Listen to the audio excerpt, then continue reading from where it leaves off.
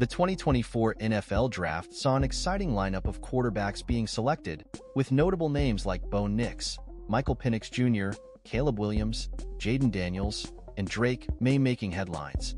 Bo Nix and Michael Penix Jr. surprised many by being drafted at number 12 and number 31, respectively. Malik Nabers was chosen ahead of Marvin Harrison Jr., adding to the draft day surprises. The draft was filled with trade speculations and mock drafts, with teams strategizing to secure their top picks. Caleb Williams showcased his talent with impressive plays, although concerns about holding onto the ball were raised. Jayden Daniels drew comparisons to Lamar Jackson for his dual-threat abilities, making him a promising pick for Washington.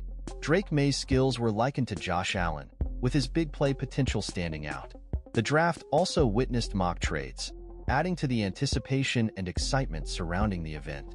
Overall, the 2024 NFL Draft was a showcase of talent and strategic moves as teams aim to secure their future stars.